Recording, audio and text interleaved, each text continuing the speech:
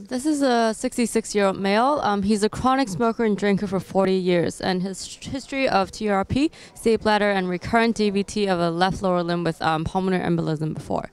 Um, he um, has a newly diagnosed CA mid esophagus, um, clinically stage T2 to 3 and 1 and M0, presented with dysphagia earlier this year.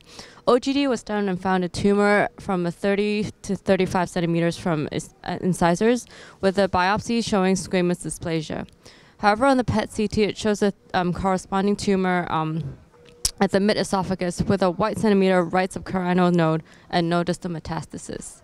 So currently, our plan for this patient is for neoadjuvant chemo RT, then for minimally invasive three-stage esophagectomy. This is the PET CT and also the endoscopic view um, of this patient's tumor. And so today we'll be doing um, EUS um, for the fiducial marker placement.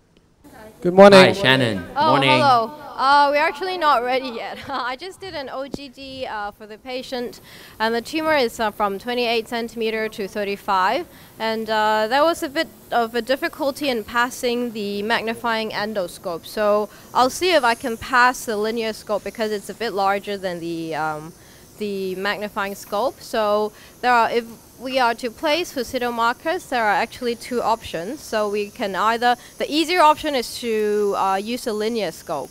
And, uh, but sometimes, uh, especially tumors in our locality are usually very advanced and tumors are obstructive. So if the scope cannot pass through the tumor, then uh, what we do is uh, we first use uh, a nasal scope to pass a guide wire to the stomach and we change it to um, uh, the EBA scope. But it's actually a bit cumbersome. So if we can use, if we can pass a linear scope, then it's always easier. Seems can um, talk, I've talk about it. the uh, indication first? Why do we need a fiducial marker? Like, for example, in this patient?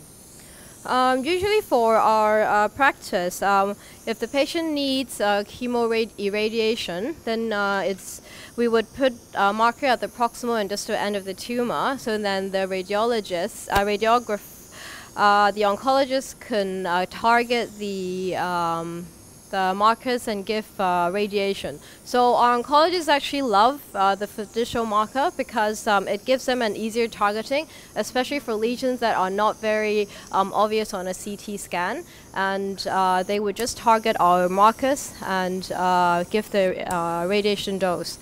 And when inserting the markers, we try always to include the lymph nodes also. So apart from the tumor, uh, we would scan for uh, surrounding lymph nodes and to see um, if uh, our marker could also include it. And the irradiation field can also include the lymph nodes uh, for a better response.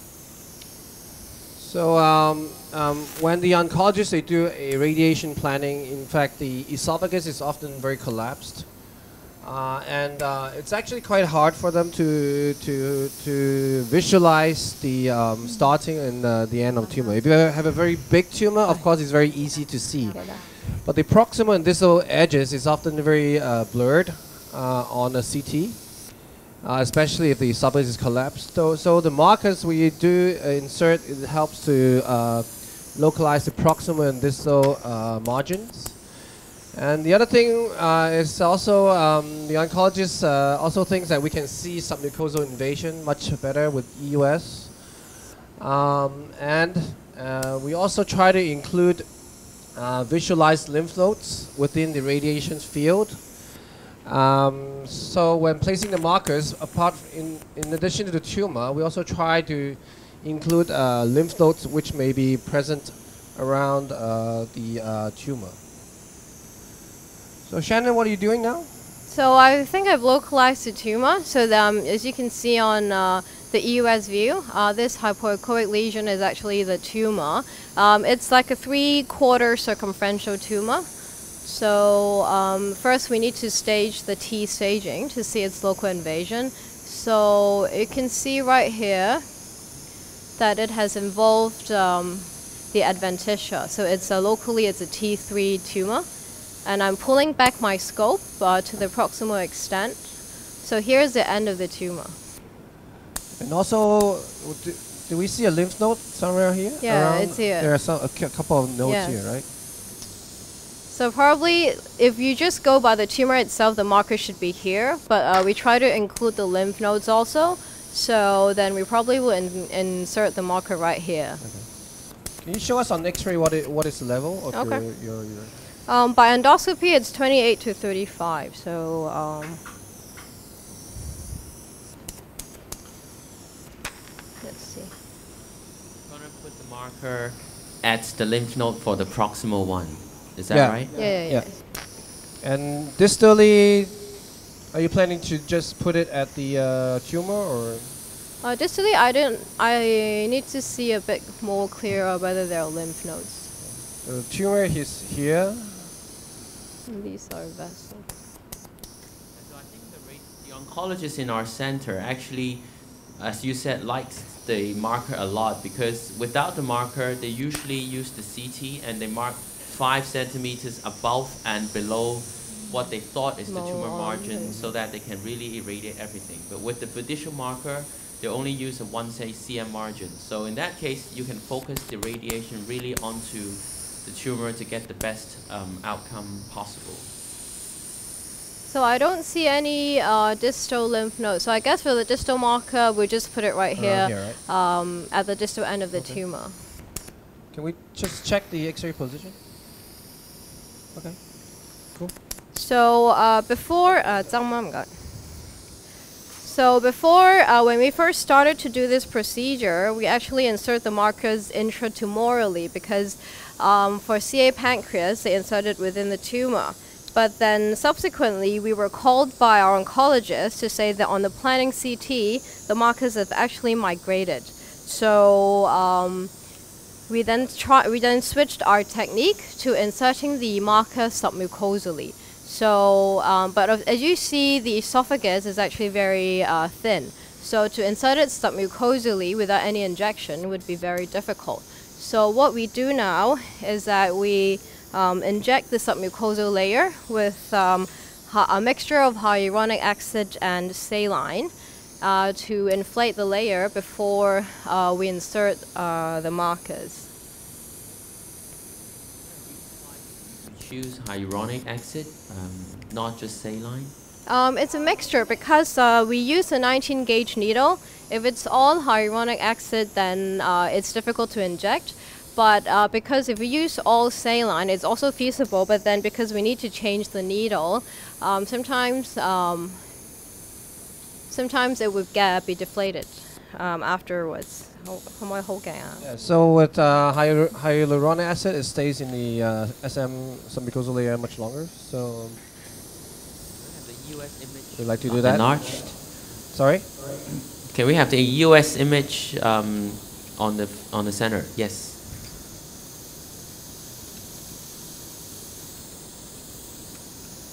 So you aim for the submucosa in the injection? Okay, so you can see my needle, which is right here. And uh, so we sometimes tend to overshoot a little and pull back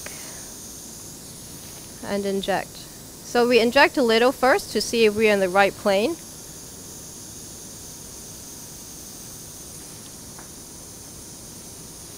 So that's very nice. So Shannon is in the submucosal plane already. You can see um, this is a submucosa, and you can see the solution Inflate it. Very nice. Okay. So now we can change uh, to uh, for the marker needle. So it's very nice if you use a linear scope, there is actually a pre-made uh, needle from the Cook. And Can we uh, have the uh, external view just to show this quickly? You know. So this is the device. So that's a handle on one side. It's preloaded with four fiducials. So with each uh, click, you, could- you would deploy one fiducial. So the, um, the needle is in the SM submucosal plane. So um, let's show the X-ray as well. X-ray uh, magnification, please. 放大一格啊，唔该。 Okay, so um, Shannon's going to deploy the fiducial. So you can see that it's actually pushing out. So when you push out a little, we tend to uh, withdraw the needle a little so then it doesn't uh, get coiled too much. So now you can see that it's out. Okay, and if you pull back the needle, uh, you can see that it stays. Um, of course, a safer thing is uh, to flush saline to make sure um, that the marker is still here.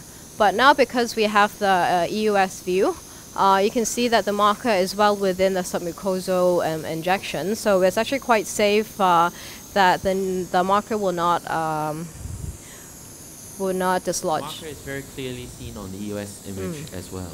So it's very securely located. So after this, uh, we will pull back uh, to the proximal um, end of the tumor. So here all along, these are tumors.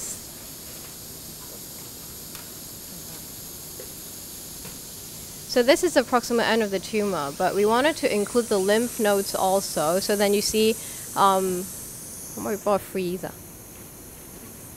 Yeah. So these are uh, the lymph nodes that we wanted to include. There are a couple. Yep. Yeah, right there. You have to dump some? AP window or This is the AP window. Yeah, correct. So this is the uh, aortic arch, pulmonary artery. So it's the AP window. Is there any limitation of size of the lymph node? Sorry. Uh, yeah, we can Uh, measure it. yeah. Yeah. Do you have any uh, size? That I mean, the small size or uh, large size uh, lymph node you select? So um, I think we will try to include the uh, entire bunch, which is um, um, right here, because um, the radiation will include the entire uh, field. Um, the size is not big; it's six millimeters, but the morphology looks very malignant. So um, we probably won't do a biopsy and just go with the uh, chemoradiation.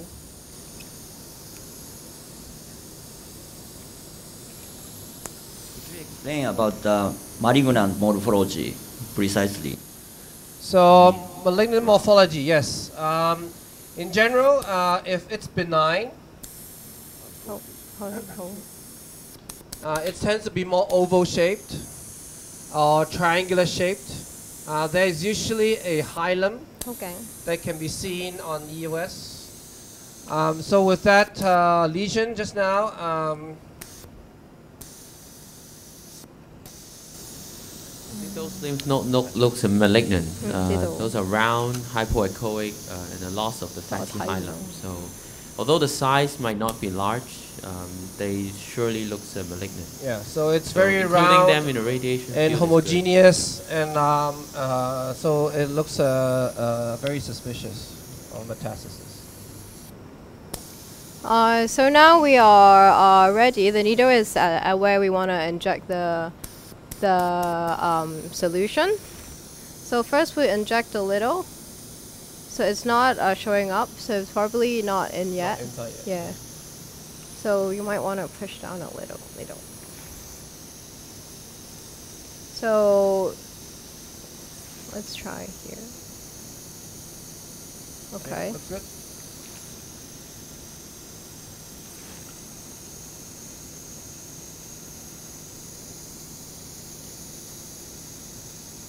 Okay. So I think you've injected into the submucosa. You can Mm. see the SM layer raised quite well. So I think uh, people, apart from esophageal cancers, people are also putting in fiducials for uh, pancreatic, as well as uh, rectal cancers in some institutions. I think for pancreatic, it's mainly to help with um, a um, chemoradiation. Um, in pancreas, the requirement for proximal and distal extent is not that high because they just want to localize Ah, X-ray. um, tumor. So we just need to put in two. Um, maybe we should go back a little bit because the noise is, uh, Um, and um, for pancreatic cancers, we just need to be uh, have the um, fiducial two centimeters apart.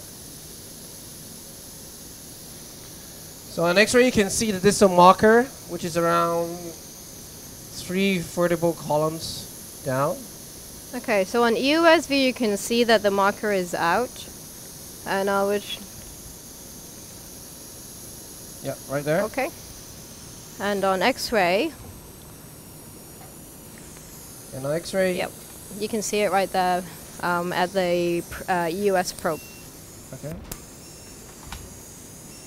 Should we flush it a little bit? Okay. Slanted, right?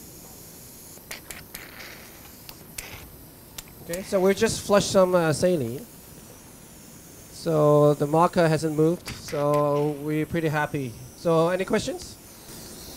Anthony, Anthony, Yes.